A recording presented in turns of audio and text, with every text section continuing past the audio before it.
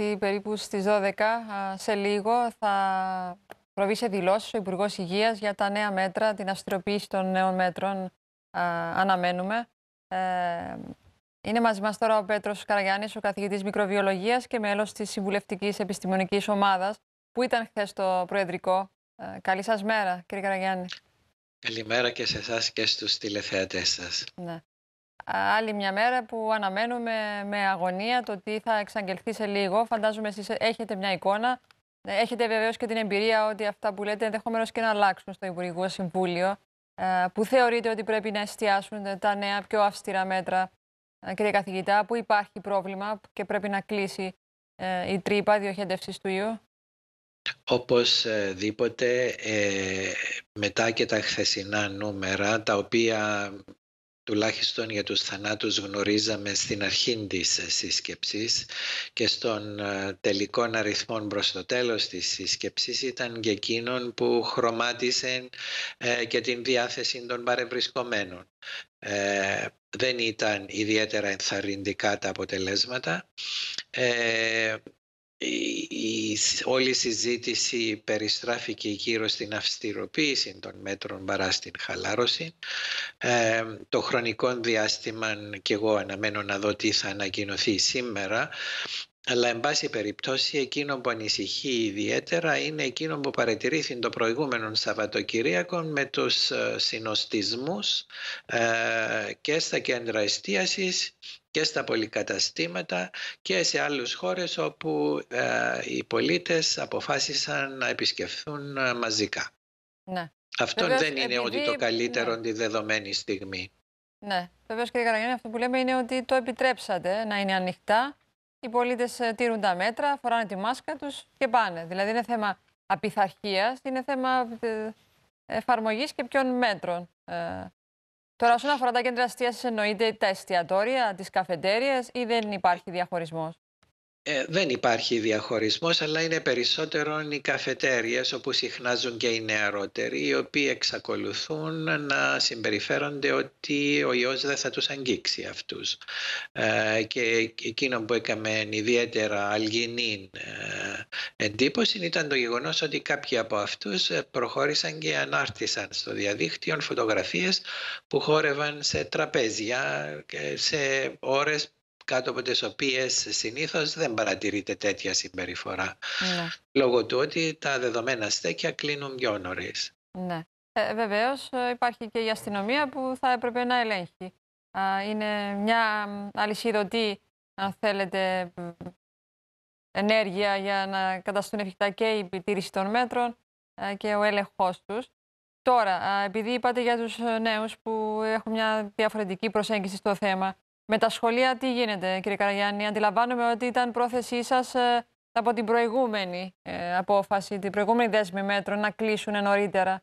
Αυτό θα προχωρήσει; Είναι κάποιος δηλαδή που ε, αντιστέκεται, είναι, προκύπτει κάτι; Γιατί δεν κλείνουν πιο νωρίς; Κοιτάξτε, έπεσε και αυτόν το θέμα πάλι στο τραπέζι, μπήκαν και τα υπέρ και τα κατά ε, και για όλες τις βαθμίδες και για κάποιες από τις βαθμίδες, για τις πιο ψηλές βαθμίδες το πρόβλημα είναι τι θα κάνουν αυτά τα παιδιά όταν θα είναι ελεύθεροι τόσες ώρες, δεν θα συνευρίσκονται πάλι.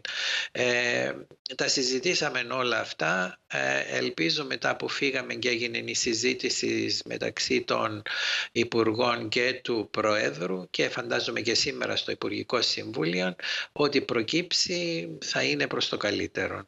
Ναι. Βεβαίως, κύριε καθηγητά, ε, είναι αντιληπτό ότι υπάρχει πρόβλημα εντός των σχολείων. Ε, υπάρχει αυξημένος αριθμός. Γι' αυτό και κάνετε και τη συζήτηση.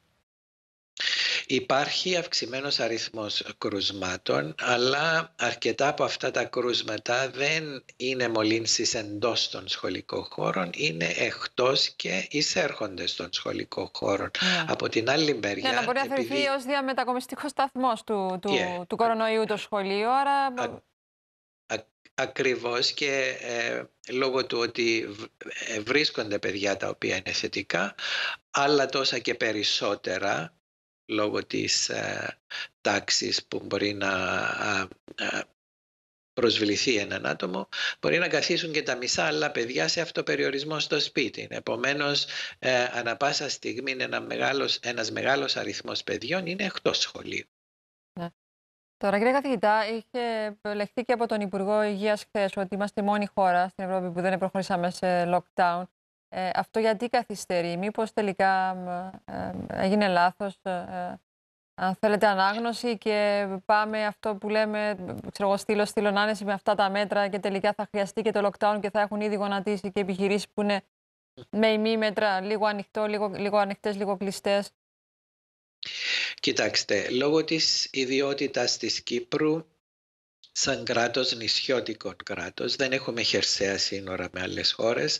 Τα αεροδρόμια μας είναι ο μόνος τρόπος για να εισέλθει και ο ιός ε, στην Κύπρο. Εκεί γίνεται πολύ καλή επιτήρηση. Επομένως θεωρούσαμε ότι όπως έγινε στις αρχές της πανδημίας που τα πράγματα είχαν ε, κοντρολαριστεί τροποντινά με τα μέτρα που είχαν πάρθει του ολικού lockdown και με τις εμπειρίες που είχαμε ε, ότι τα πράγματα θα πάλι θα ελεγχθούν ε, έγκαιρα και αυτόν μάλιστα διεφάνει από τα μέτρα που μπήκα στην περίπτωση της Λεμεσού και της Πάφου. Τα μέτρα αυτά απέδωσαν, αλλά όχι στις δύο εβδομάδες, στις τρεις εβδομάδες. Η Λεμεσός εξακολουθεί να βελτιώνεται, ενώ είναι οι άλλες τρεις επαρχίες οι οποίες παρουσιάζουν ιδιαίτερο πρόβλημα αυτή τη στιγμή. Επομένως, ε, θεωρώ ότι και τα ισχύοντα μέτρα στην παρούσα φάση θα μπορούσαν να αποδώσουν. Αλλά λόγω του ότι κοντεύουμε στα Χριστούγεννα και ο κόσμος θα διακινηθεί και στα καταστήματα και αλλαχού, πρέπει να είμαστε λίγο περισσότερο ε, προσεκτικοί. Διότι δεν μπορούμε να μπούμε στα Χριστούγεννα με τέτοιους αριθμούς. Αλλιώς το Γενάρη θα έχουμε μια τρομερή έξαρση των κρουσμάτων πάλι. Ναι, είναι, είναι αντιληπτό ότι αυτό σας ε, προβληματίζει περισσότερο ο Γενάρης. Αυτός είναι ο κρίσιμος μήνας. Ε, Βεβαίως, κύριε Καραγιάννη, και τα μέτρα που θα αποφασιστούν σήμερα δεν ξέρω αν έχετε τουλάχιστον καταλήξει στην διάρκεια τους. Θα είναι πάλι 10 πενθυμέρου, θα είναι κάτι το οποίο θα έχει διάρκεια ενός μήνα ζωής για να μπορεί και ο καθένας να κάνει το κουμάντο του βεβαίως. Ακριβώς είχε υποθεί χθες ότι τα μέτρα που θα μπουν ίσως, ίσως θα ισχύσουν μέχρι ε, την πρώτη εβδομάδα του Γενάρη.